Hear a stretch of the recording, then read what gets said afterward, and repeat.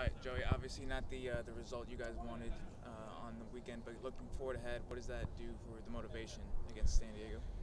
Yeah, it also obviously um, fuels a little fire for us. Um, every time we go out, we try and get three points. It doesn't matter if we're home or away. Uh, as a team, we like to grow, and, and, obviously, we're only two games into a long season, so we, we have to use it as a learning experience and, and use it to, to build off of. Um, we didn't get a result, but we competed hard, and we got to we got to know that teams are going to look for us on their schedule. Every team we play is going to kind of have a target for us because we've we've been at the top of the league for a few years now. So we have to be ready for every team's best game, um, and I think that's something that the team kind of took away from that game. Looking at those two goals that you conceded, where do you think things went wrong defensively? Yeah, it's just um, whenever you concede a goal, it's always one or two simple mistakes that turn into the other team capitalizing. And I think the first goal it was just a, a, little a little turnover in the midfield, and we tried to recover as quickly as, as we could, but it was a quick two v one. It wasn't it wasn't necessarily the whole field transition. Um, and then the second goal, it was uh, a little flick on that, that we, we need to either win the first ball or destroy the play and, and either cause a foul or, or, something on the second ball. Um, and we didn't do either. And then they came down the middle and scored again. Um, besides that, I think I think we didn't make too many mistakes. I think I think they just capitalized on the two that we we really did, and um, they punished us. And knowing how you know aggressive the, the fullbacks are under Rick's system, mm-hmm. what kind of added pressure does that put on you guys as the centre backs in defensive transition?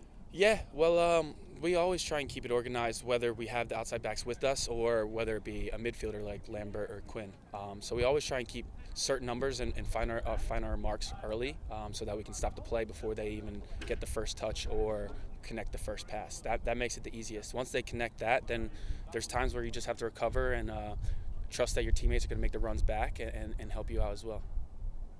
Is there any difference in you know how you approach things when you've got Manu next to you as opposed to James?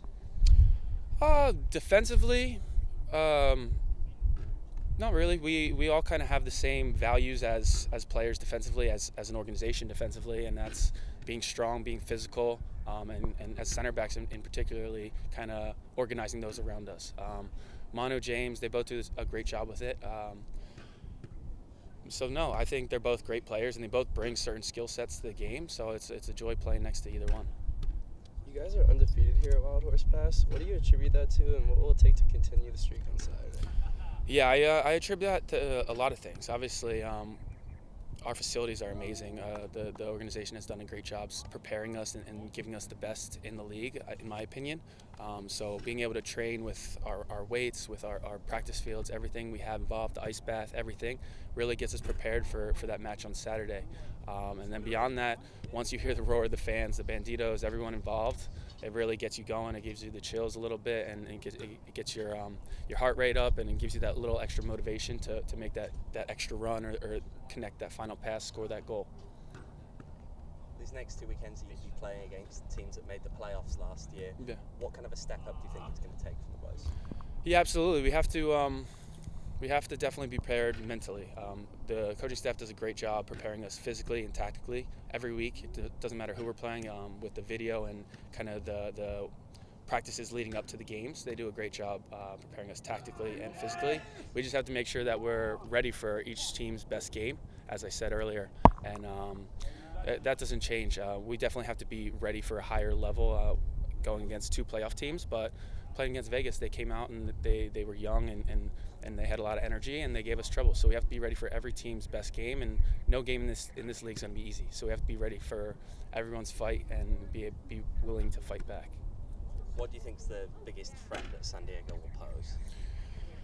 I think their their tactics are, are unique. Um, they like to keep the ball a lot, and they do um, open the field up with their spacing. Um, so I think for us, learning from last year, it was kind of once we were able to limit them to kind of the flanks, that helped us a lot. Um, the first game, they, they were able to find, uh, uh, the first game away, I'm, I'm, thinking of, they were able to find um, kind of that underneath, underneath pocket behind the midfield in front of our back four. Um, so I think that's kind of what we're going to focus on, and uh, that's always an area that you want to snuff out from, from any team. Um, so being able to limit that and kind of push it to one, one flank or the other will really help us defensively.